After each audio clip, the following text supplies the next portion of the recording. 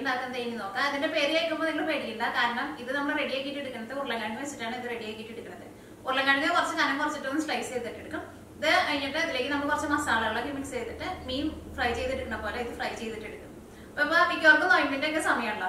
അപ്പൊ ഇതേപോലെ ഫ്രൈ ചെയ്തിട്ട് ചോറിന്റെ കൂടെ ഒക്കെ കഴിക്കുമ്പോൾ ഏതാണ്ട് മീനൊക്കെ കഴിക്കുന്ന ഒരു ടേസ്റ്റിലേക്ക് നമുക്ക് കഴിക്കാൻ വേണ്ടിയിട്ട് പറ്റും. മീനിന്റെ അത്രയ്ക്ക് ടേസ്റ്റ് കിട്ടില്ലെങ്കിലും കഴിക്കാൻ വേണ്ടിയിട്ട് നല്ല ടേസ്റ്റ് ആണ്. അപ്പൊ നമുക്ക് നോക്കാം ഇതന്നെ റെഡിയാക്കാന്ന് ഇത് റെഡിയാക്കാൻ വേണ്ടിയിട്ട് ഇതേപോലത്തെ മൂന്ന് വലിയ ഉരുളക്കിഴങ്ങ് എടുത്തിട്ടുണ്ട്. ഈ ഉരുളക്കിഴങ്ങ് നമ്മളൊന്ന് സ്ലൈസ് ചെയ്തിട്ട് എടുക്കും. അത് കഴിഞ്ഞിട്ട് ഇതിലേക്ക് നമ്മളൊരു മസാല ഉണ്ടാക്കും. ഈ മസാലയിൽ മിക്സ് ചെയ്തിട്ടാണ് ഇത് ഫ്രൈ ചെയ്തിട്ട് എടുക്കാൻ വേണ്ടിയിട്ട് പോണത്. അപ്പോൾ ഇനി ഇതിലേക്ക് മസാല ഉണ്ടാക്കാൻ വേണ്ടിയിട്ട് ഞാനിവിടെ വെളുത്തുള്ളി എടുത്തിട്ടുണ്ട്. ഞാനിവിടെ ഇതേപോലത്തെ വലിയ വെളുത്തുള്ളി ഒരു ഏഴ് വലിയ വെളുത്തുള്ളിയാണ് എടുത്തേക്കുന്നത്. ഇതേപോലത്തെ ഒരു വലിയ കഷ്ണം ഇഞ്ചി എടുത്തിട്ടുണ്ട്. പിന്നെ പച്ചമുളക്. പച്ചമുളക് ഇതേപോലത്തെ രണ്ട് ചെറുതാണ് എടുക്കുന്നത് ഇതിലേക്ക് നമ്മൾ മുളകിന്റെ പൊടിയും ചേർക്കുന്നുണ്ട് പിന്നെ കുറച്ച് കറിവേപ്പില എടുത്തിട്ടുണ്ട്. പിന്നെ ഞാനിവിടെ അര ടീസ്പൂൺ വലിയ ജീരകം എടുത്തിട്ടുണ്ട്. പിന്നെ ഒരു കുറച്ച് മുഴുവനായിട്ടുള്ള കുരുമുളക് എടുത്തിട്ടുണ്ട്. കുരുമുളക് എടുക്കുന്നതിന് അങ്ങനെ കറക്റ്റായിട്ട് അളവില്ല ടേസ്റ്റിനനുസരിച്ചിട്ട് കുറച്ചൊന്ന് ചേർത്ത് കൊടുക്കുക പിന്നെ അരിപ്പൊടിയും വേണം റവയും വേണം മുളക് പൊടിയും വേണം മല്ലിപ്പൊടിയും വേണം മഞ്ഞൾപ്പൊടിയും വേണം. അപ്പോൾ ഇത്രയ്ക്ക് സാധനങ്ങളാണ് ഇത് റെഡിയാക്കാൻ വേണ്ടിയിട്ട് വേണ്ടത്. അപ്പോൾ ഫസ്റ്റ് നമുക്ക് ഇതിലേക്കുള്ള മിക്സ് ഉണ്ടാക്കാം. അതിന് വേണ്ടിയിട്ട് ഈ ജാറിലേക്ക് കറിവേപ്പില ചേർക്കാം. വെളുത്തുള്ളി ചേർക്കാം. ഇഞ്ചി ചേർക്കാം. ഇഞ്ചി ചേർക്കുമ്പോൾ പതുക്കൊന്ന് ചെറുതാക്കിയിട്ട് ചേർക്കാം.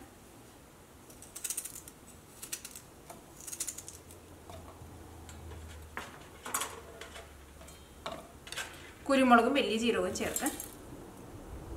ഇതിലേക്ക് ആവശ്യത്തിന് വെള്ളം ഒഴിച്ചിട്ട് ഇത് നല്ല പേസ്റ്റ് പോലെ അരച്ചിട്ടെടുക്കാം.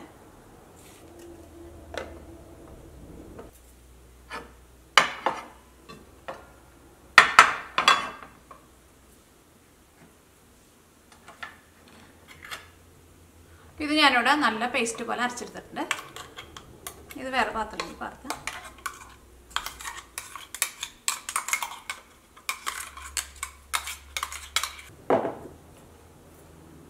മിക്സിയുടെ അടപ്പന്മയുണ്ട്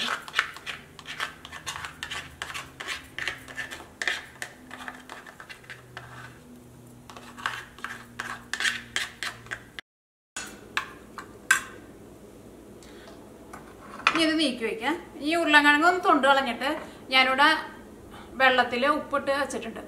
ഉരുളക്കിഴങ്ങ് തൊണ്ട് കളഞ്ഞിട്ട് ഈ വെള്ളത്തിൽ ഇട്ട് വെക്കണം. അതൊരു പത്ത് മിനിറ്റ് നേരെ ഇട്ട് വെക്കുകയാണെങ്കിൽ കുറച്ചും കൂടി നല്ലതായിരിക്കും. അപ്പോൾ ഈ ഉരുളക്കിഴങ്ങിന്റെ ഉള്ളിലേക്ക് ഉപ്പ് നന്നായിട്ട് പിടിക്കും. ഈ ഉരുളക്കിഴങ്ങ് ഒന്ന് തൊണ്ട് കളഞ്ഞിട്ട് വെള്ളത്തിലേക്ക് ഇടാം. ഉരുളക്കിഴങ്ങൊക്കെ തൊണ്ട് ചെയ്യുമ്പോൾ ഉരുളക്കിഴങ്ങൊക്കെ തൊണ്ട് കളയുമ്പോൾ ഇതേപോലത്തെ ഒരു പീലറൊക്കെ ഉണ്ടെന്ന് വെച്ചിട്ടുണ്ടെങ്കിൽ പെട്ടെന്ന് നമുക്ക് തൊണ്ട് കളയാൻ വേണ്ടിയിട്ട് പറ്റും. അത് ഞാൻ എന്റെ മിക്ക വീഡിയോയിലും ഞാൻ പറയാറുണ്ട്. ഉരുളക്കിഴങ്ങ് മാത്രമല്ല കേട്ടോ ക്യാരറ്റ് പിന്നെ മാങ്ങയുടെ തൊണ്ട് പപ്പായയുടെ തൊണ്ട് എന്തിന്റെ തൊണ്ടും ഇതേപോലെ കളഞ്ഞിട്ടെടുക്കുക ഇതേപോലെ പീലർ എന്ന് പറഞ്ഞിട്ട് നമുക്ക് സൂപ്പർ മാർക്കറ്റിലേക്ക് വാങ്ങാൻ വേണ്ടിയിട്ട് കിട്ടും. ഇതേപോലത്തെ പ്ലാസ്റ്റിക്കിനൊന്നും ഒട്ടും വില ഉണ്ടാവില്ല ഇതിന് നല്ല മൂർച്ചയുണ്ട്.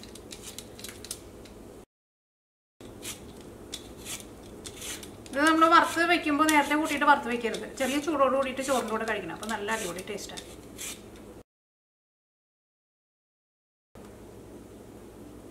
ഇത് ഇനിയിപ്പോൾ ഞാനിവിടെ ഈ വെള്ളത്തിലേക്ക് സ്ലൈസ് ചെയ്തിട്ടാണ് ഇടാൻ വേണ്ടിയിട്ട് പോണത്. അപ്പോൾ കുറച്ച് നേരം ഒന്ന് വെള്ളത്തിലിട്ട് വെക്കുക അപ്പോൾ അതിന്റെ ഉള്ളിലേക്കൊക്കെ ഉപ്പ് നന്നായിട്ട് പിടിക്കുമല്ലോ. അപ്പോൾ അതിന് വേണ്ടിയിട്ടാണ് അങ്ങനെ ഉപ്പിട്ട വെള്ളത്തിലിട്ട് വെക്കുന്നത്. അപ്പോൾ ഇതൊന്ന് സ്ലൈസ് ചെയ്തിട്ട് എടുക്കുക അത് നിങ്ങൾക്ക് ഇഷ്ടമുള്ള ഷേപ്പിൽ സ്ലൈസ് ചെയ്തിട്ടെടുക്കുക. ഒരുപാട് കനം കുറയും വേണ്ട എന്നാൽ ഭയങ്കര കനത്തിലും വേണ്ട. ഞാനപ്പോൾ ഇതേപോലെയാണ് സ്ലൈസ് ചെയ്യണത്.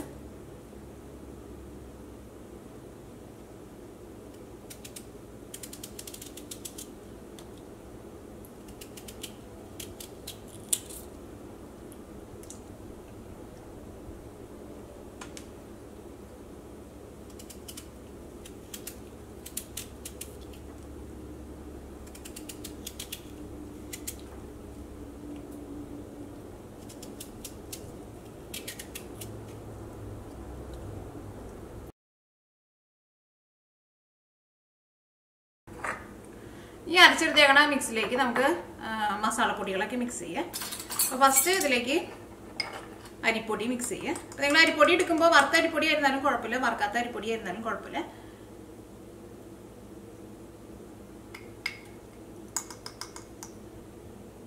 രണ്ട് ടേബിൾ സ്പൂൺ അരിപ്പൊടി ചേർത്തിട്ടുണ്ട്.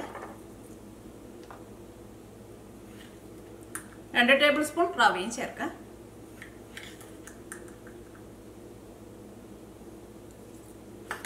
ഇതിലേക്ക് മുളക് പൊടി ചേർക്കാം മുളക് പൊടി ഒന്നല്ലെങ്കിൽ നിങ്ങളുടെ എരിവിനനുസരിച്ചിട്ട് ചേർക്കാം ഞാനിവിടെ രണ്ട് ടേബിൾ സ്പൂൺ മുളക് പൊടിയാണ് ചേർക്കുന്നത്. കാരണം ഈ മുളക് പൊടിക്ക് അത്രയ്ക്കാണ്ട് അധികം എരിവില്ല. നിങ്ങൾ അതനുസരിച്ചിട്ട് ചേർത്ത് കൊടുക്കുക.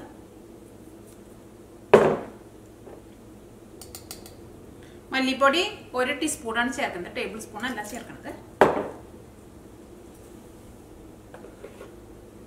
ഒരു മുക്കാൽ ടീസ്പൂൺ മഞ്ഞൾപ്പൊടിയും ചേർക്കുക. ഇതിലേക്ക് ആവശ്യത്തിന് ഉപ്പും കൂടി ചേർത്തിട്ട് ഇത് നല്ല പേസ്റ്റ് പോലെ മിക്സ് ചെയ്തിട്ട് എടുക്കണം അപ്പോൾ ഇതിലേക്ക് നമ്മൾ ഈ മസാലപ്പൊടികളൊക്കെ ഇങ്ങനെ ചേർത്ത് കഴിഞ്ഞപ്പോൾ ഇത് കുറച്ച് നല്ല ഡ്രൈ ആയിട്ട് വരും. അപ്പോൾ ഞാനിവിടെ ആ മിക്സിയിൽ കുറച്ച് വെള്ളം ഒഴിച്ചിട്ട് നമ്മൾ അരച്ചെടുത്തേക്കണ മിക്സിയുടെ ജാറിലല്ലോ ആ ജാറിൽ കുറച്ച് വെള്ളം ഒഴിച്ചിട്ട് ഇതിന്റെ കൂടെ ചേർക്കുന്നുണ്ട്. ഇത് കുറച്ച് ലൂസായിട്ട് വരണം. ഇനി സെപ്പറേറ്റ് വെള്ളം ചേർത്താലും കുഴപ്പമില്ല. കാരണം ആ ജാറിൽ കുറച്ചും കൂടി മസാലയുണ്ട്. ഞാനിതിലേക്ക് ഉപ്പ് ചേർക്കും. ഉപ്പ് ചേർക്കുമ്പോൾ ഒരുപാട് ചേർക്കണ്ട. കാരണം നമ്മൾ ഓൾറെഡി ഉരുളക്കിഴങ്ങ് വെള്ളത്തിൽ ഇട്ട് വെച്ചിട്ടുണ്ടല്ലോ. അപ്പോൾ അതനുസരിച്ചിട്ട് മാത്രം ചേർത്താൽ മതി. ഭയങ്കര തിക്കായിട്ട് എടുക്കണ്ട. കുറച്ച് ലൂസായിട്ട് എടുക്കണം. എന്നാൽ ഭയങ്കര വെള്ളം പോലെ ആവുകയും ചെയ്യരുത്.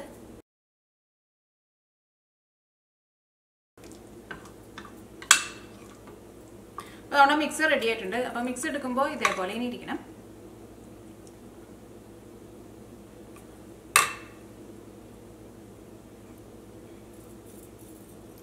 നമ്മൾ വെള്ളത്തിലിട്ട് വെച്ചാണ് ഉരുളക്കിഴങ്ങ് ഉണ്ടല്ലോ ആ ഉരുളക്കിഴങ്ങ് ഇതേപോലെ ഇങ്ങനെ ഓരോ സ്ലൈസ് ആയിട്ട് എടുക്കുക. ഇതുമ്പോൾ കുറച്ച് ഉപ്പിന്റെ വെള്ളമൊക്കെ ഉണ്ട് അതൊന്നും ഞാൻ തുടച്ച് കളയുന്നില്ല അത് തുടച്ച് കളയേണ്ട ആവശ്യമില്ല. എന്നിട്ട് ഇതേപോലെ ഇതിന്റെ മുകളിൽ ഇങ്ങനെ മസാല ഇങ്ങനെ തേച്ച് കൊടുക്കുക.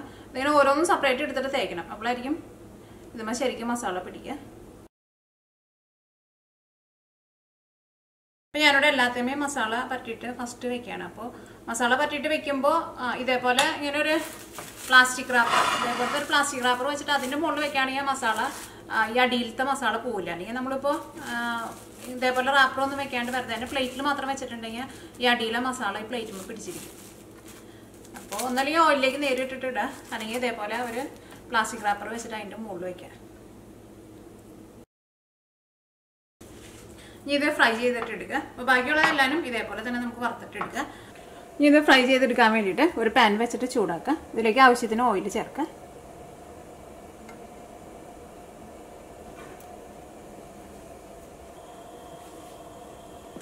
ഓയിൽ നന്നായിട്ട് ചൂടായിട്ടുണ്ട്.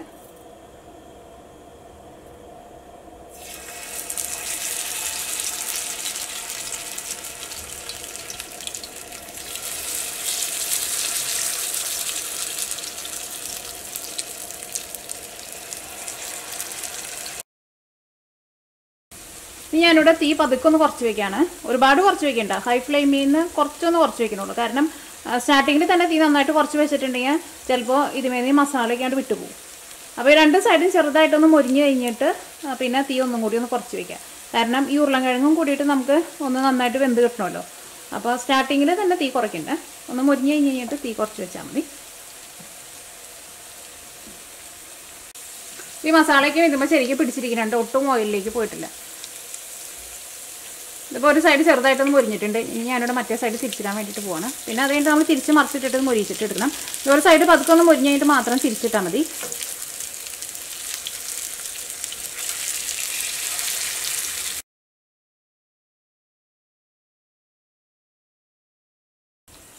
ഇത് രണ്ട് സൈഡ് നന്നായിട്ട് മുരിഞ്ഞിട്ടുണ്ട്. ഇനി ഇത് ഓയിലിൽ നിന്ന് എടുക്കാൻ പോണതിന് മുമ്പ് നിങ്ങൾ പ്രത്യേകം ശ്രദ്ധിക്കുക. തീ നന്നായിട്ടൊന്ന് കൂട്ടി വെച്ച് കഴിഞ്ഞിട്ട് മാത്രം ഓയിലിൽ നിന്ന് എടുത്താൽ മതി. അല്ലെങ്കിൽ ഇതിന്റെ ഉള്ളിൽ ഓയിൽ പിടിച്ചിരിക്കും. അപ്പോൾ ഞാനിവിടെ തീ നന്നായിട്ട് കൂട്ടി വെക്കാണ്. കാരണം ഓയിൽ നല്ല ചൂടായി കഴിഞ്ഞ് കഴിയുമ്പോൾ ഇതിന്റെ ഉള്ളിൽ അങ്ങനെ ഓയിൽ പിടിച്ചിരിക്കുന്നുണ്ട് ഞാൻ ഓയിലൊക്കെ പുറത്തേക്ക് വരും. നിങ്ങൾ തീ കൂട്ടി വയ്ക്കുമ്പോൾ കരിഞ്ഞു പോകാണ്ട് ശ്രദ്ധിക്കുകയും വേണം. ഒരു രണ്ട് സൈഡൊന്ന് തിരിച്ച് മറിച്ചിട്ടിട്ട് തീ നന്നായിട്ട് കൂട്ടി വെച്ചിട്ട് ഓയിലിൽ നിന്ന് എടുക്കാം.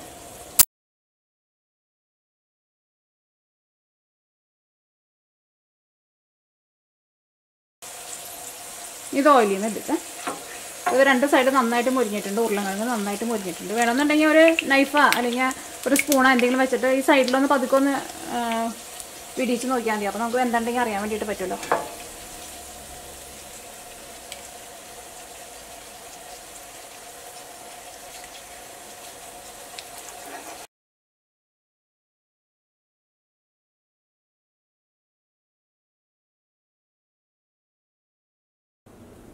അപ്പം മീനില്ലാത്ത മീൻ ഫ്രൈ റെഡി ആയിട്ടുണ്ട്. ഇത് കഴിക്കുമ്പോൾ ചെറിയ ചൂടോട് കൂടിയിട്ട് കഴിക്കാം. പിന്നെ നമ്മൾ വറുത്തെടുക്കുമ്പോൾ ഏറ്റവും ലാസ്റ്റൊക്കെ ആകുമ്പോൾ ഞാൻ ആ വറുത്തെടുക്കുമ്പോൾ പറയുന്നുണ്ടല്ലോ തീയെ നന്നായിട്ട് കൂട്ടി വെച്ചിട്ടാണ് ഓയിലിൽ നിന്ന് എടുക്കാൻ വേണ്ടിയിട്ട്. അങ്ങനെ കൂട്ടി വയ്ക്കുമ്പോൾ ഇതിന്റെ ഉള്ളിൽ ഓയിൽ അങ്ങനെ പിടിച്ചിരിക്കുന്നുണ്ടെങ്കിൽ ഓയിൽ പുറത്തേക്ക് വരും. ഇത് നമ്മുടെ ചൂടുള്ള ചോറിന്റെ കൂടെയൊക്കെയാണ് കഴിക്കുകയാണെങ്കിൽ നല്ല അടിപൊളി ടേസ്റ്റ് ആയിരിക്കും. പിന്നെ ഞാൻ കഴിഞ്ഞ ദിവസം ഒരു കേക്കിന്റെ വീഡിയോ ഞാൻ അപ്ലോഡ് ചെയ്തിട്ടുണ്ടായിരുന്നു. വീറ്റും ക്യാരറ്റും കൂടിയിട്ടുള്ളത്. അങ്ങനെ കേക്കിന്റെ വീഡിയോ ഒക്കെ ഞാൻ അപ്ലോഡ് ചെയ്യുമ്പോൾ ചിലപ്പോൾ ചിലർ മിക്കപ്പോഴും പറയുന്ന ഒരു പരാതിയാണ്. കേക്ക് റെഡി ആയി കഴിഞ്ഞ് കഴിയുമ്പോൾ കേക്ക് നന്നായിട്ട് ഇങ്ങനെ പൊന്തി ഇങ്ങനെ ഇരിക്കും. അത് കഴിഞ്ഞ് കഴിഞ്ഞിട്ട് കുറച്ച് നേരം കഴിഞ്ഞ് കഴിയുമ്പോൾ കേക്ക് താഴത്തേക്ക് ഇരുന്ന് പോകണമെന്ന് അതിന്റെ ഒരു കാരണം എന്താണെന്ന് വെച്ചിട്ടുണ്ടെങ്കിൽ അത് കേക്ക് ശരിക്കും വേവാത്തത് കൊണ്ടാണ് അങ്ങനെ വരുന്നത്. അത് നല്ല ചൂടോട് കൂടിയിട്ടിരിക്കുമ്പോൾ കേക്ക് നന്നായിട്ട് പൊന്തിയിരിക്കും. അപ്പോൾ അതിന്റെ ഉള്ളിൽ ശരിക്കും വെന്തിട്ടുണ്ടാവില്ല. അപ്പോൾ ചെറുതായിട്ട് അങ്ങനെ ചൂടാറി തുടങ്ങുമ്പോൾ അതിങ്ങനെ താഴത്തേക്ക് ഇരിക്കും. പക്ഷെ നമ്മൾ ഒരു ടൂത്ത് പിക്ക് എന്തെങ്കിലും വെച്ചിട്ട് അതിന്റെ സെന്ററിൽ നമ്മൾ കുത്തി നോക്കുമ്പോൾ ആ ടൂത്ത് പിക്ക് നല്ല ക്ലീൻ ആയിട്ട് വരും. പക്ഷേ അതിന്റെ ഉള്ളിൽ ഒന്നും കൂടി വേവാനുണ്ടാവും. അത് നമ്മളൊക്കെ ആ കേക്ക് കട്ട് ചെയ്യുമ്പോൾ നമുക്ക് അറിയാൻ വേണ്ടിയിട്ട് പറ്റും. അതിന്റെ ഉള്ളിൽ ആ അല്ലെങ്കിൽ നല്ലതായിട്ട് ബേക്ക് ബേക്ക് ചെയ്ത് വന്നേക്കുന്ന കേക്കൊക്കെ ആണെന്നുണ്ടെങ്കിൽ ഉള്ളിൽ നല്ല സോഫ്റ്റ് ആയിട്ട് ഇങ്ങനെ എന്താ പറയുക ഇങ്ങനെ ലെയർ പോലെ ഇങ്ങനെ ഇരിക്കും. പക്ഷേ ഈ ശരിക്കും വേവാത്ത കേക്ക് നമ്മൾ കട്ട് ചെയ്യുമ്പോൾ അതെല്ലാവരും ഇങ്ങനെ അട പോലെ ഇങ്ങനെ പതിഞ്ഞിരിക്കും. ഉള്ളിൽ അത്രയ്ക്കാണ്ട് സോഫ്റ്റ് ആയിട്ട് ഇരിക്കില്ല. പക്ഷെ നമുക്ക് തോന്നില്ല അത് വെന്തിട്ടില്ല എന്ന് പക്ഷെ അത് വേവാത്ത ഒറ്റ കാരണം കൊണ്ടാണ് കേക്ക് നമ്മൾ റെഡി ആയി കഴിഞ്ഞ് കഴിയുമ്പോൾ കേക്ക് താഴത്തേക്ക് ഇരുന്ന് പോണത്.